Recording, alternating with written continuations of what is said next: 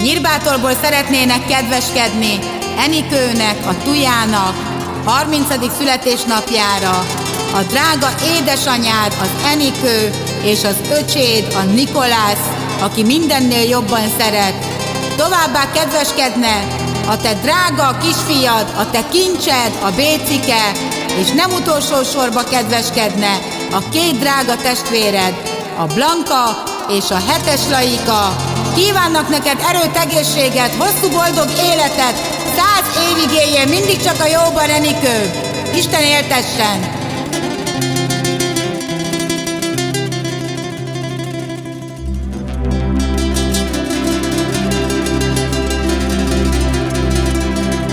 beteg vagyok anyám